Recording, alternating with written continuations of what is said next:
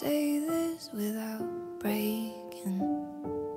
How can I say this without taking over?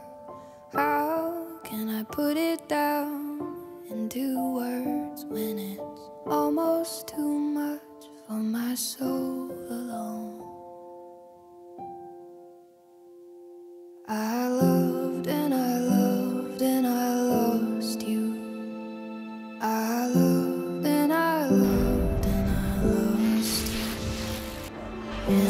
I saw the future. This is my destiny.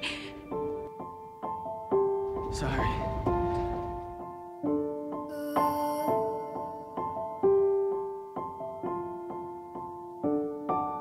I don't want them to know the secrets. I don't want them to know the way I loved you. I don't think they'd understand.